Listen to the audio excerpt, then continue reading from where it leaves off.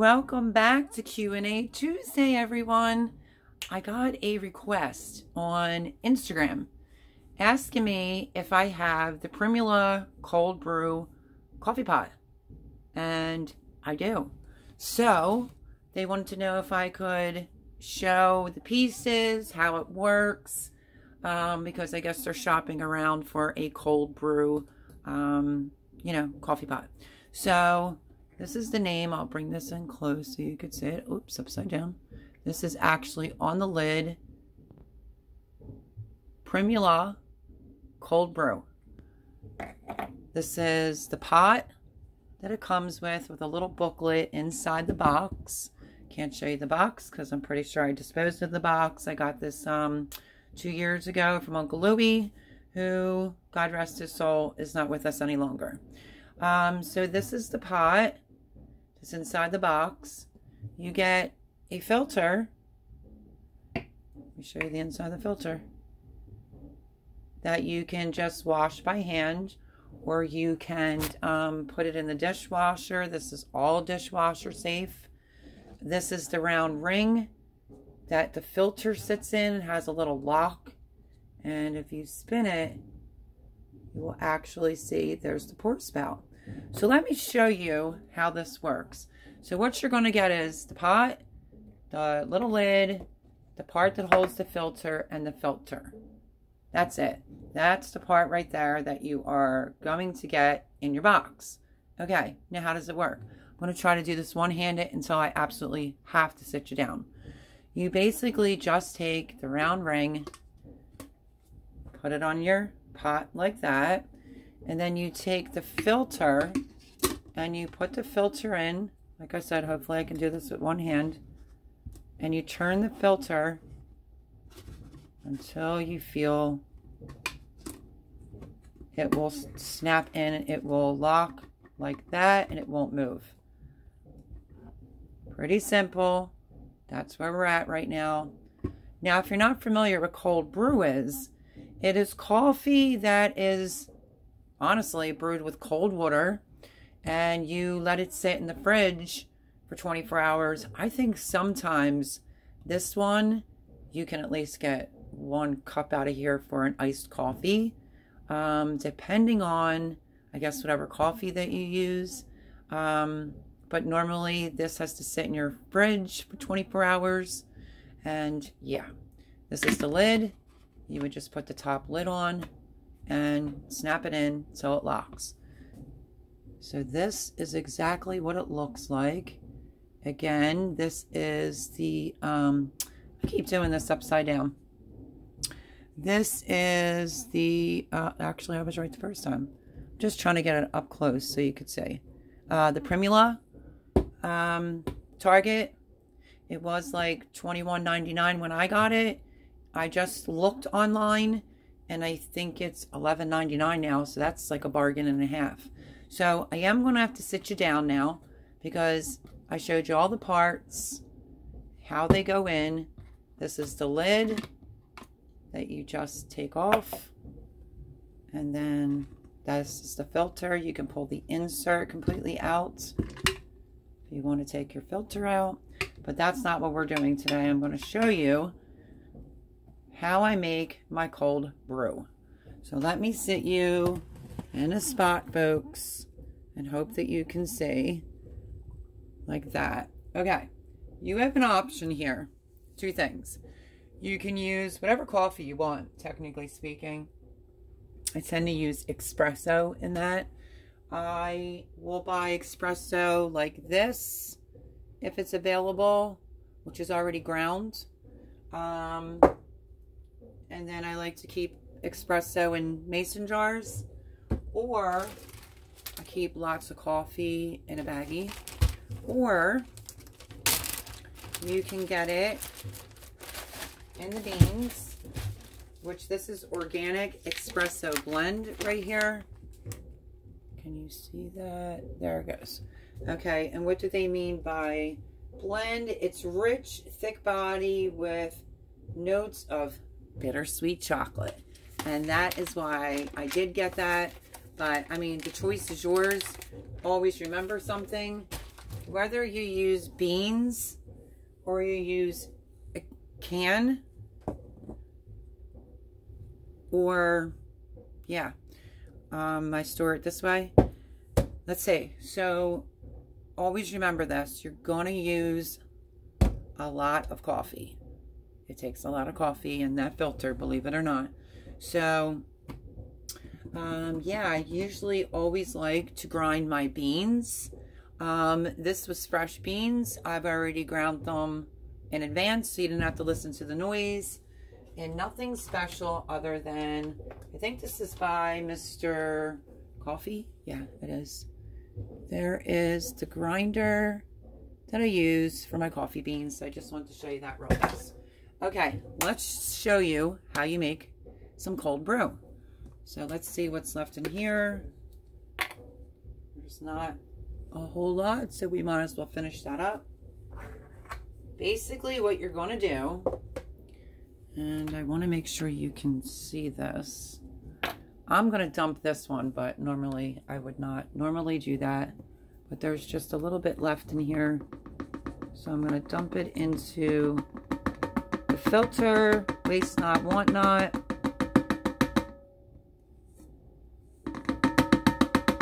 Okay, let me show you what little, all the way down there, if you can see that, even in the light, it barely touched the filter. So get ready if you want cold brew coffee because um, it does require, and I may have to put my hand in the way. I'm sorry, guys. Let me just fix this real quick. Um, yeah, just be prepared because it takes a little bit of coffee to fill it. So, I am using the one that I already ground and I'm just going to go in and fill it. As a matter of fact, I can hear what I always keep tags inside my mason jars. And let me show you.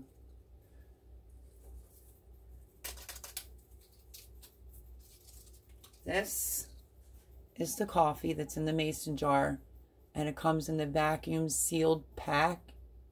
They're just all the beans.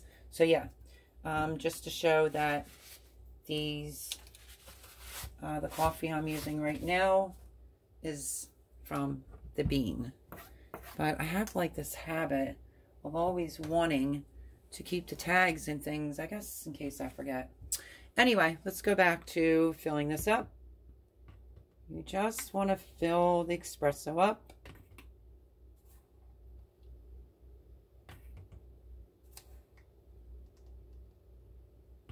pretty close to the top. I say one more. And this was a full jar when I started. This is where we are at with the coffee, right to the top. And then this is what you're going to do. You're going to take filtered water, bottled water, move that back so you can see. And you're going to start lightly pouring the cold water across the top. And why do I say slowly? Because it does this. Put you back in the light. And that's why you just, I'm going to move this over here for a little bit better lighting. And that is why I'm going to just tighten this a smidge. Um, and that is why you just have to take your time with adding your water into the pot and it will start slowly dripping down on the bottom. I sometimes like to take a knife. I'll show you what I mean by that. I'm going to set you right there. You should be able to see.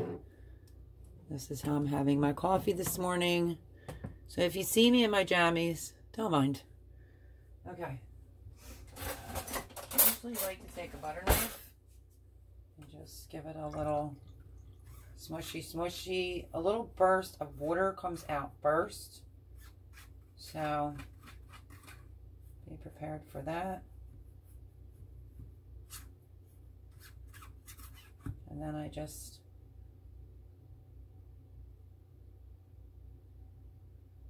pour more cold water.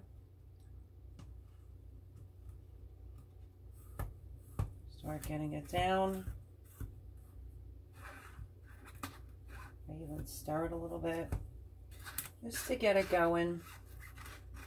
Taste not, want not either on your filter. And that is kind of the process, is to just keep going. And give it some time. Let me show you, even though it looks really light right now, there it is going down. This is what it's looking like on the bottom. Can you see that? Let me see if I could zoom in for you. It's already going down to the bottom. It's just going to take some patience because you want to wait till the water goes down and then you keep filling it up with cold water. Once that's completely done and filled, um, which will take a few, which I'm not going to make you suffer. I'll finish getting it filled and then I'll bring you guys right back. Okay, let me show you. You can see that water level. Let me add another light. Sorry guys about the lighting in here today. There's how full we are. And it is still running. Now, a couple tips and tricks that I have for you. This is what I do. Um, I think espresso is a little expensive, but amazing. So, what I do is I will pour some into a glass over ice, and then this goes in your refrigerator. Like I'm going to pour some over ice just so you can see the color difference. Um, this will get really dark in like 24 hours.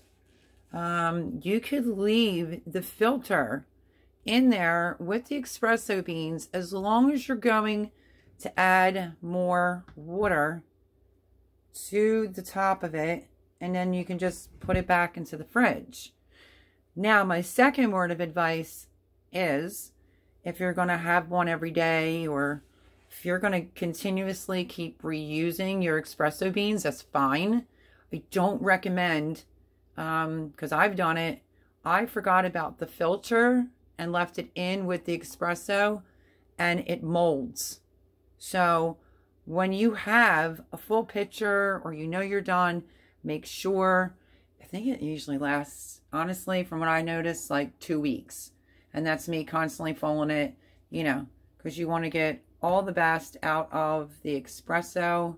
And yeah, do not let the filter stay in there or it definitely will mold. I'm trying to show you. So what I could do is I'm going to let this one go down. Help it along. This is why I used the back of a butter knife. Um, everything is dishwasher safe. Love this little gadget because it's amazing. And like I said, it's dishwasher safe where you can wash it in the sink with hot soapy water.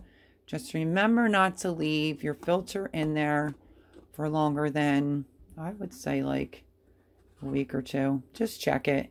If it's fine in a week, that's fine. If it's not fine in a week and you're not going to need any more, you have a full pitcher, just take it out.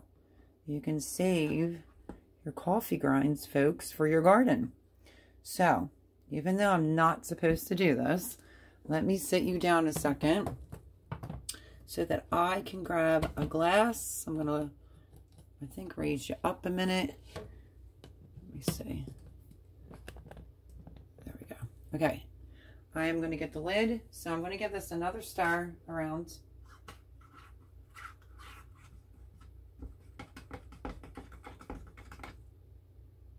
Just going to remove my butter knife now. And I am going to grab myself a mason jar. You need to put the lid on and make sure it's in a locked position.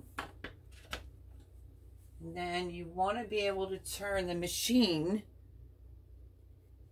to the pouring spout.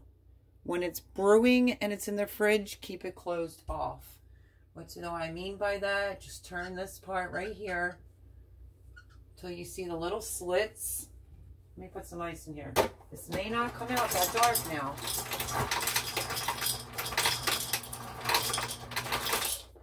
Actually, could have just did it in a simple little glass. I'll pour some in here so you can see what this looks like already.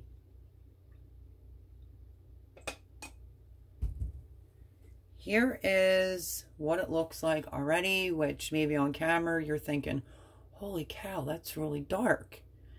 Let this sit for 24 hours and this will be super dark and you can make your um, iced coffees. You can use the espresso for any other type of drink. But there it is, and it hasn't even sat for 24 hours. So I'm going to add more water since I just stole some out of there.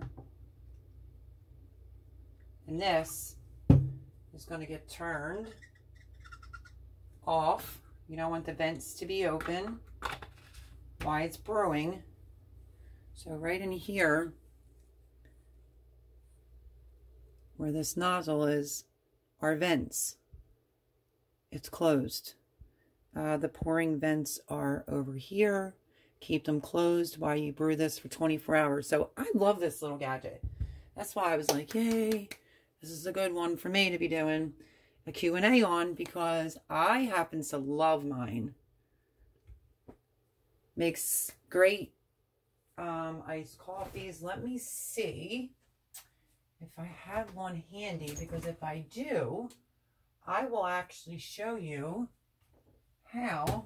If not, I will have to go into my pantry and grab one. But I will show you how I make my iced coffees. Oh, here's one that's open. Cool. Okay. So with this, it's not going to be as strong. It's not as dark. I know it looks like it really is on camera, but it's not. So now I'm going to show you how I make my famous iced coffee.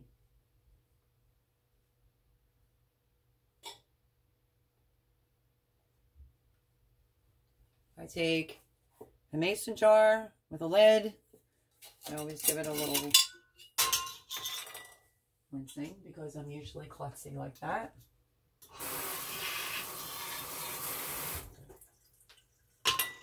There's another pack. I'm just going to rinse mine out real quick.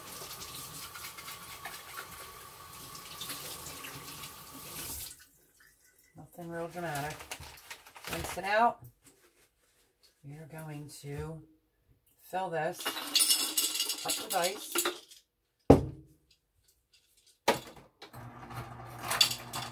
It to be like filled, filled up.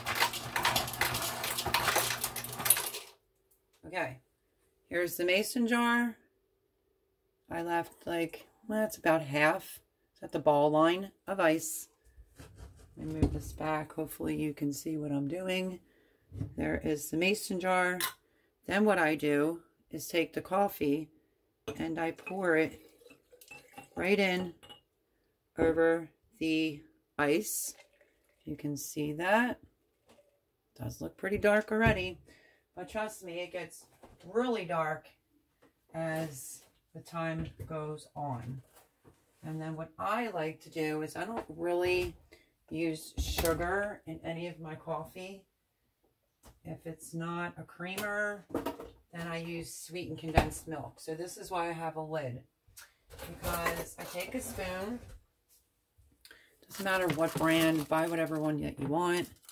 And, um, oh, mine's like ice cold. Okay, let me quickly go grab my other sweetened condensed milk. And I will show you how I do this.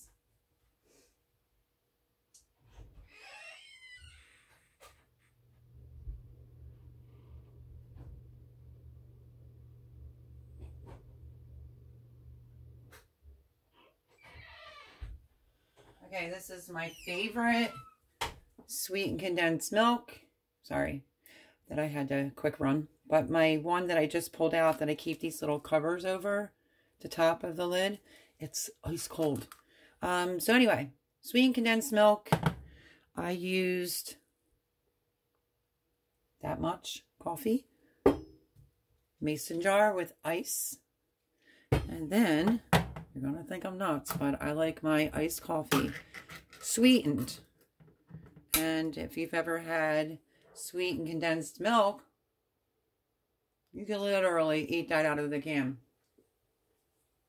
So, gets a little messy and sticky, but it's okay. I try to do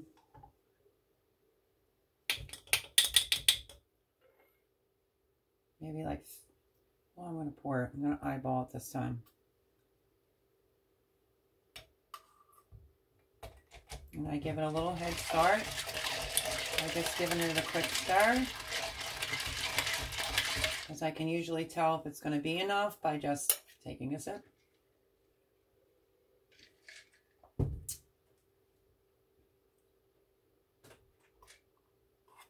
Okay.